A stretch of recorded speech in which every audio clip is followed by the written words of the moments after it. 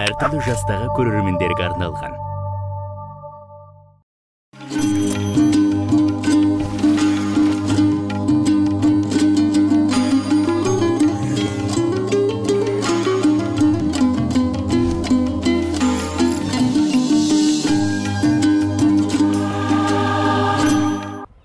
Ассалаумағалейкум. Бұл берекелі шаңырақ бағдарламасы. Біз дәл қазір оңтүстік қазақстан облысы ең жылы өңірдің ең суық нүктесіндеміз. Яғни бұл мұз сарайы.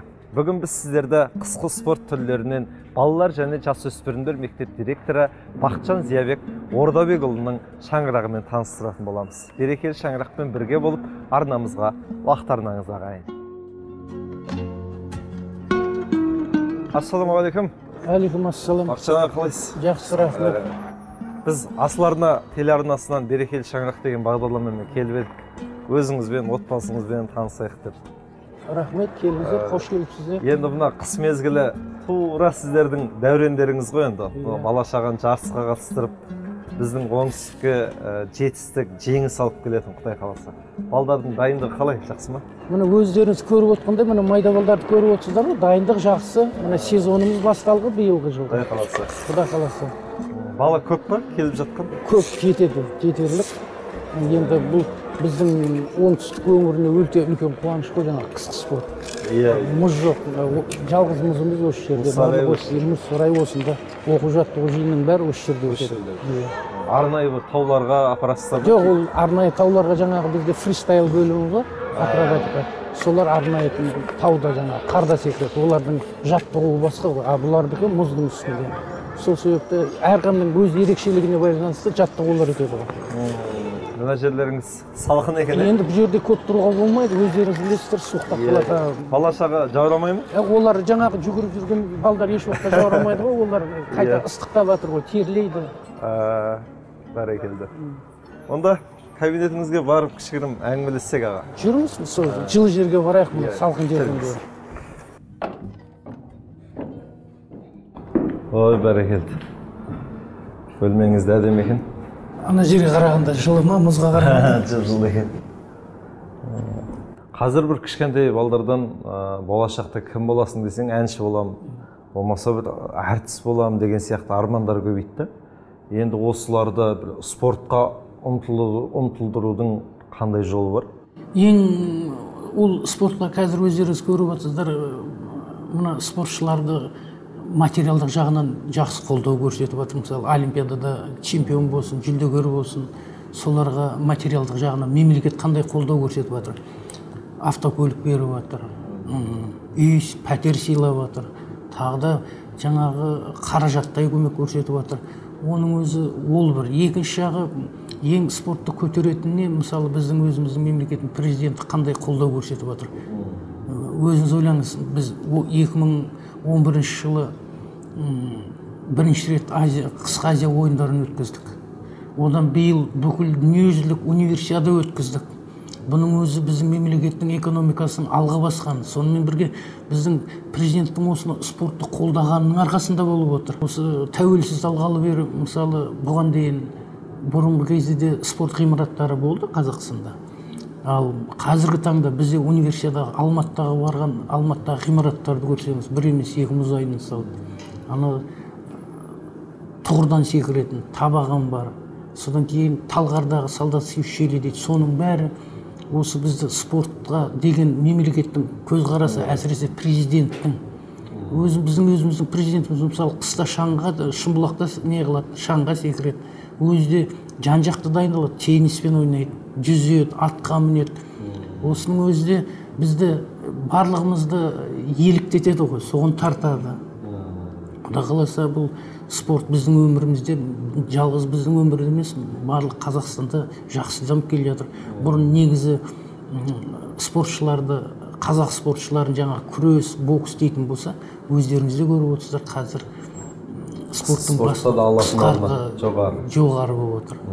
Оны құда қаласа келесі олимпиаданы көреміз енді. Олимпиада да жақындап келе жатыр ғой. Яғни ә, баланың ынтасын ашу жолында талай еңбектер атқарылып жемісін беріп жатыр ғой иә қазірде. Аллаға шүкір. Енді ә, шыны керек спортқа қызығатын жастарымыз да аз емес көбейе берсін. Айтқаныңыз мынау келсін. бөлмеңізді жарқыратып тұрған бір жағында кілең балалардың жеңісі жетістігі бір жағында өзіңіздің алғыс хаттарыңыз екен. Кішігірім таныстыра аласыз ба бізді? Таныстырайын енді мынау мына тұрған мына медальдар мен кубоктар осының барлығы. Біздің мектептің спортшыларының жеті жылдағы еңбегі.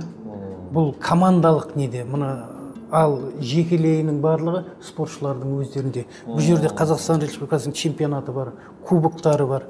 Жас спортшылар мен ә, оқушылар мен колледждер арасындағы спартакиаданың медальдары сонымен бірге жастар орындары ересектер арасындағы спартакиада. Міне біздің ең алғы үлкен жетістігіміз көрсеткішіміз міне осы медальдар мен кубоктар.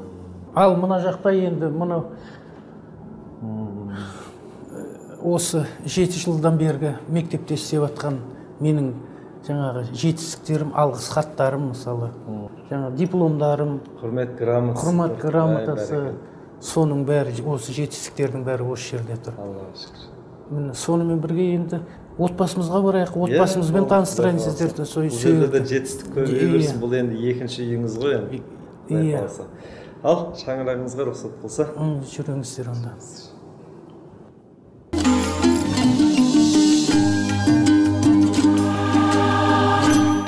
Аллаға міне жұмыстағы жеті жылда жеткен жетістігіңізді түгелімен көріп танысып келдік аллаға шүкір. Нәсіп болған шығар енді сіздің үйіңізден де дәм тату бізге. Ә, осындай кең пейілмен кең дастарханмен қабылдағаныңызға алла разы болсын.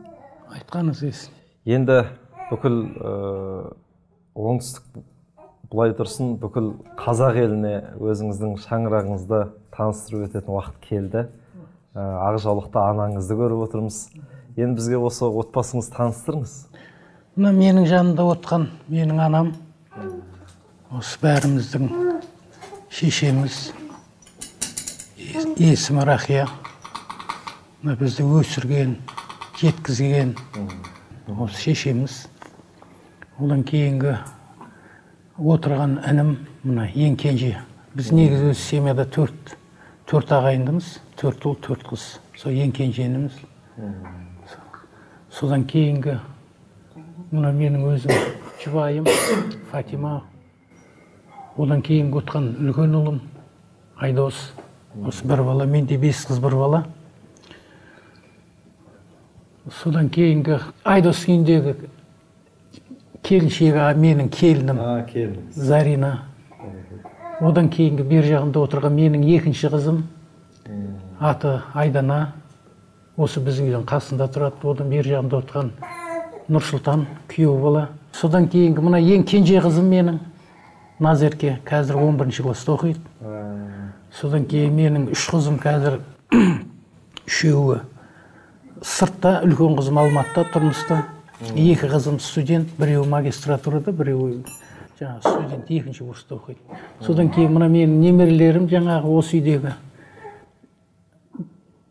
алдияр анау ең шетке отқан шын үйдегі ең бұзығы.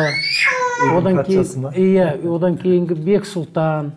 Мына інжу деген менің осылардың осыларға қарайтын тәрбиелейтін осы. содан кейін мына ең кішкентайымыз ақсұлтан ал бақытжан аға рахмет. Құдай қаласа отбасыңыз кеңейе берсін немере шөбере көбейе берсін. Енді бұл отбасының тарихын әрине осы ақжаулықты анамыздан сұрайық.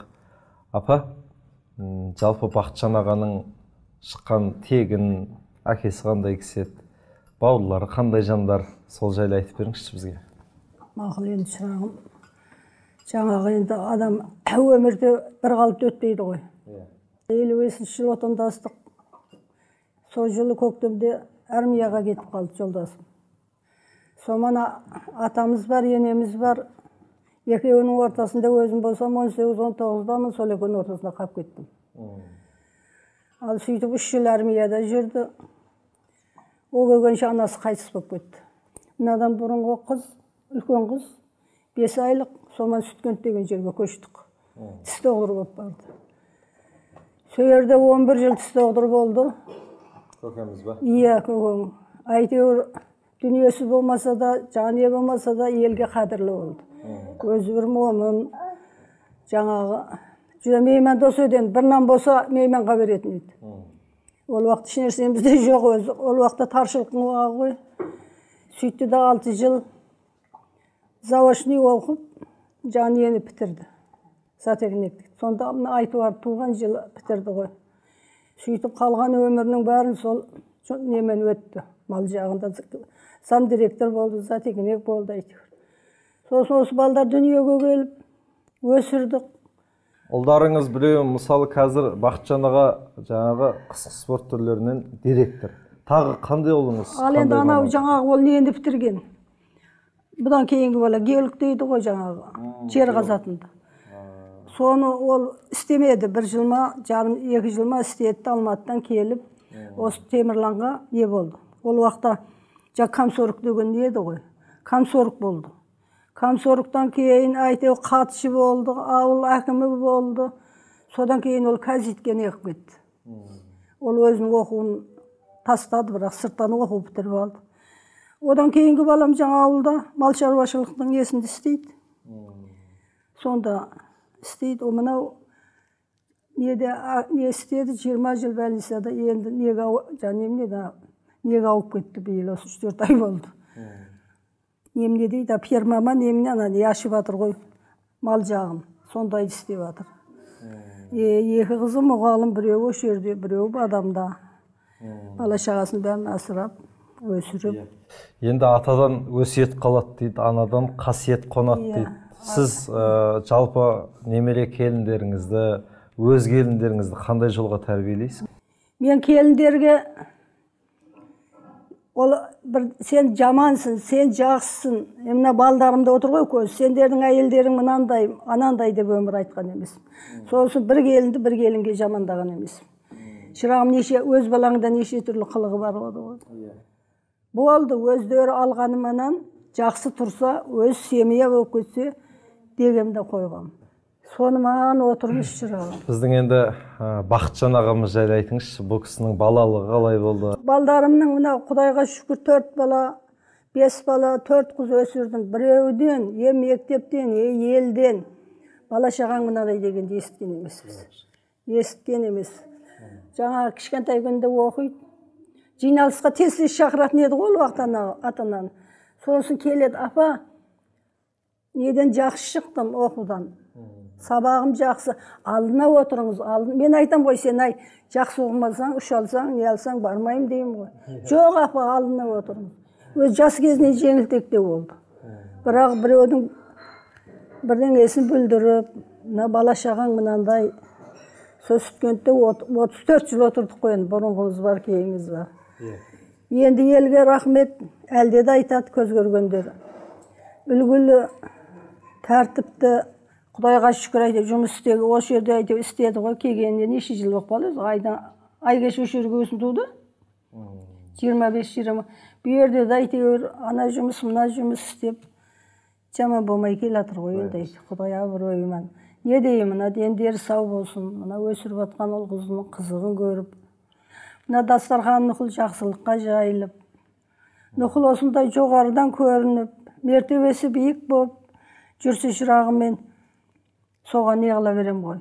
Анау неге барды ғой бұлар? Бір шет жаққа барды ғой бір қыздарды алып. А, аспанға секіретін қызды алып. Сағат он екіге шейін отырдым. Ана өмір көрмейді мына телевизорный спорт мынанікі айтты да апа менікі пәлен уақыт ұшады деді. Бір уақытта ана қыз орын алды ғой бейшара. Ойпырмай сүйсе балдар күледі. Сізге спорт не керек? Мен маған жалпы спорттың керегі жоқ мынау абыройлы болып. Ке- не қылса деймін ғой шырағым сол. Ата баяғыда өз жарысқа қатысқанда да тақым қысатын едіңіз енді. Иә. Бұл кісінің бала шағасы қатысса да. Иә бұл иә Уайымдайсыз қайтеміз енді әйтеуір. Мына баласының әйтеуір осы бір баласы бар қыздар болса да кіші жұртты айналайын елдің әйтеуір елеулі халықтың қалаулы болып жүрсе дейміз. Мынау енді баладан осы ғой енді немерем ең үлкен осыны сұрай беретінмін бұдан үлкен қыз айтатын. Бірдеңе болса айдос жесін бірдеңе болса айдос. Бізді айтпайды апам бірдеңе болса айдос. Енді бұны ана бұны неға жаман алдиярға келіп мынаны ұмытып ай алдияр қандай алдияр қандай деймін сол екен шырағым өмірде адам өмір деген өзі өмір деген өзен деп осыны айтады екен жас емеспіз сексен бірге келдік өмірдің ащысын да көрдік тұщысын да көрдік алланың салған ауырмалығын да көрдік бәріне шүкір деп құдай енді осылар аман болсын деп отырамын енді бас, басқа айтатын нем жоқ енді жалпы елуге жұқтап қалыпсыздар құдай қаласа. Кеңейе берсін әулет. Өзіңіз жүзге жеткенде сол жүз немеренің ортасында шалқып жүре беріңіз біздің тілек сол құдай қаласа. Бақытжан аға сізде бес қыз бір бала ғой.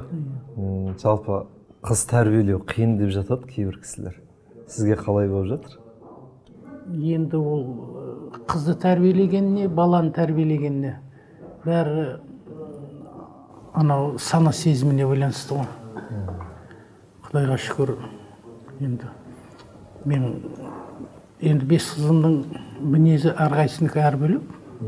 Бірақ бір мен осы уақытқа дейін байқағаным ұлдарға қарағанда қыз бауырмашыл болады да. Жаны әкеге деген шешеге деген. Енді соны байқадым. Ал қыздарымның бәрі ол жат қылық көрсетіп мынандай ешнәрсе демеген мен мен не айтсам мамасы не айтса соның бәрін орындап жаңағы енді үлкендері өзінен кейінгісін тартып тартып өсіре береді ғой. Балдардың семьяда балдардың көп болғанының бір жақсы жері сол. Қызда қырық үйден тыю дейді ғой жаңағы. Құдайға шүкір шешесі айтып отырады. Біз енді жұмыста боламыз жұмыстан келесің оқта текте айқайлайсың ол семья болғасын айқайсыз да бір үйде бір адам айқайлап тұрмаса ол да болмайды. Аяқ тартатын бір аяқ бір адамнан келеді шеше ол қанша дегенмен шеше балдардың шешесі аналары олардың иіні жаңағы жұмсақ келеді ғой. Жүрегі жұмсақ болады. жүрегі жұмсақ болады. Енді кейде бір ұстаз жаттықтырушы болған маған қиын сияқты да өйткені жұрттың балдарын да бауырыңызға басып оларды да чемпион қылып шығарасыз. Үйдегі өз бала шағаларыңыздың жаңа жеңісі бар жетістігі бар. Енді сонша баланы бірдей жүрекке сыйдыру деген қалай өзі бір кең жүректі адамдардың қолынан келетін нәрсе ғой апа дұрыс па? Анау құдай не берсе де пейілге беремін дейді ғой жүрекке береді. Ә, мен өзім ойлаймын жүрегің кең болған сайын ол адамның жүрегіне байланысты жүрегің кең пейілді болса жүрегің жұмсақ болса сезімтал болса ол жерге барлық нәрсе сыяды құдайға шүкір. Қазақ ол жалғыз өз менің өз балам емес. Қазақстанның жалпы қазақ елінің жетістіктерін естіп жатырмыз ғой мына. тоқсан бірінші жылдар тоқсаныншы жылдары қандай болды? Свет болмады жарық болмады газ болмады. Соның бәрін құдайға шүкір мына өзіміздің қазақ елі жеңіп соған төтеп беріп міне қазір күннен күнге жағдайымыз жақсарып келе жатыр. Бұл ең бірінші біздің мен өзім президентке бір осындай президент бергеніне қуанамын себебі қандай тығырық болсын сол тығырықтан жол тауып шығатын бірде бір кісі қазір енді былай қарасаңыз бұрынғы снг дейді одкб деп жатыр небір кездесулер болып жатыр американецтер болсын қытай болсын россия болсын сондай алпауыттармен тіл табысып осының бәрі көргендік деймін.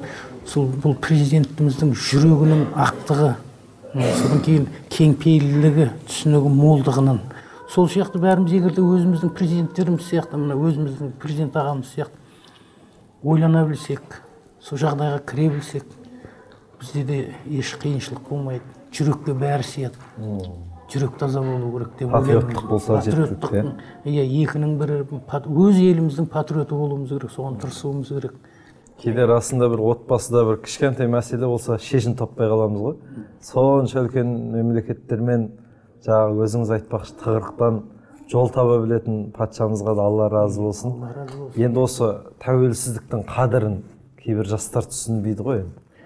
Мен соны қалай түсіндірсек болады өзі? мен бірнеше ойлаймын бәрі бұрынғы кезде бізде идеология болды ғой. Үлкен кісі келе жатса кішкентай балалар орнынан тұратын. Міндетті. Міндетті түрде. Соны біз мектептен үйретуіміз керек. Екінші жағынан дұрыс мына компьютер дейді сотовый телефон дейді телевизор дейді оның бәрі жақсы. Бірақ соның бәрі осы қазіргі жастарды бұзады. Бізге көбінесе мына тәлім тәрбиелік жағынан көп жұмыс істеу керек мектепте болсын. Соңғы кезде көп ұмытып бара жатырмыз. Шет жаққа көп көңіл бөлеміз. Мына америкада мынандай болып жатыр екен европада мынандай болып жатыр алаңдаймыз, батысқа алаңдаймыз америкада мынандай. Дұрыс оның бәрі өз уақытымен келеді. Біз өз менталитетімізді қазақ деген менталитетімізді тілімізді ділімізді сақтап қалуымыз керек соны кішкентайларға үйрете білуіміз керек оны балабақшадан үйретуіміз керек. Сана сезіміне құя білсек сонда бізді өз отанымыз сүйеді. Тәрбие тәрбиенің ең бастысы анадан басталады. Анаң қандай болса балаша сол сондай болады. Яғни қыздар түзей білсек қоғам түзеледі бірінші очередь қыздарды түзей білуіміз керек жөнімен жүру керек. Жөнсіз жүретін қыздар көбейіп кетті қазір. Кейбір кезде мен енді түнде мен жүреміз енді түнде тойға барасың қонаққа барасың сонда байқасаңыз баяғы кезде еркектер жігіттер жүруші еді көшеде. Ә, не ресторанға барсаң еркектер жүруші еді. Иә. Қазір ресторанға барсаң қыздар әйелдер көшеде таксист болып отқан қыздармен. Көрдіңіз ба қай жаққа бара жатыр осы жөнінде көп жұмыс істеуіміз керек. Сонда біздің берекеміз болады. Берекенің бәрі анадан басталады. Еркек ол жұмысын істейді де келеді. Өздеріңіз де көріп отырсыз бәріміз ол әкеміз айтады. Біз де әке боламыз да айтамыз да кетіп қаламыз. А солармен тығыз байланыста болатын шеше ана. Рахмет. Береке анадан болса ә, төрімізде ақжаулық анамыз отыр. Және болса фатима жеңгемізден де бір ауыз сұрайық бақытжан ағамыз айтты ғой енді. Көбінесе ә, жұмыс уақытысында боламын осы қыз тәрбиесін аналарына тапсырған деп. Сіз қандай ақыл айтасыз? Қандай тәрбие бересіз үйде? Тәрбие жаңа қыздардың жақсы жүріңдер ә, тәрбиелі болыңдар жаңа үлкенді сыйлаңдар. Тағы үйде де беремін сол тәрбиені. Жаңа еркек істеп жатса әйел жаңағы мамасы дей ма? Үйдің балдарының тәрбиесінде. Жақсы ғой. Бір үлкеніміз ә, еркегіміз табыс тауып жатса үйдің тәрбиесінде балдарды кішкентайынан осылар шамалы жыл істедік. Сол қалғанда өзім істеймін мен балдардың тәрбиесіне қадағала. тұрмысқа шыққан қыздарыңыз кейде звондап ақыл сұрап тұра ма? Айтамын ғой ақыл сұрайды. Ең айтатын жаңағы жолдастарыңа неғылмаңдар жаңағы қарсы сөйлемеңдер келген кезде тамақтарын дайындап ашу шақырған кезде сендер үндемей ақ қойыңдар. Ашу біткесін.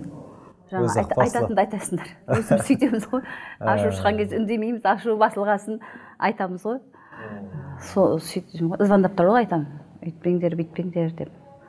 Мына қыз айдана қызыма да айтамын жаңағы. Бірінші жаңа ата енеңді сыйла деп. Өзіміз әйтеуір енеміз мақтайды ғой. Жаңағы бір сөйлеген емеспін мен.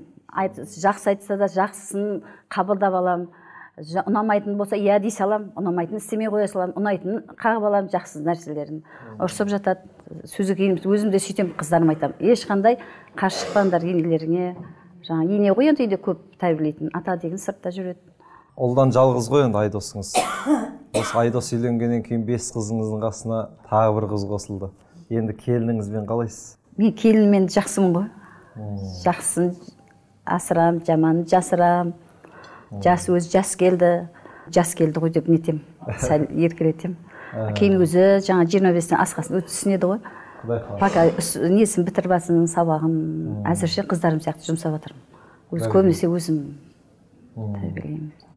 Енді осы шаңырақтың ә, берекесі ә, өзіңіздей ә, аналардың тәрбиесі қызға берген тәрбиесі енеден алған ақылы келінге беретін өсиеті осы нәрселер бір шаңырақтың берекесін ұстап тұрған сияқты. Сол үшін мынау шаңырақтарыңыздан береке кетпесін мереке болсын күніге тек жақсылыққа келейік құдай қаласа.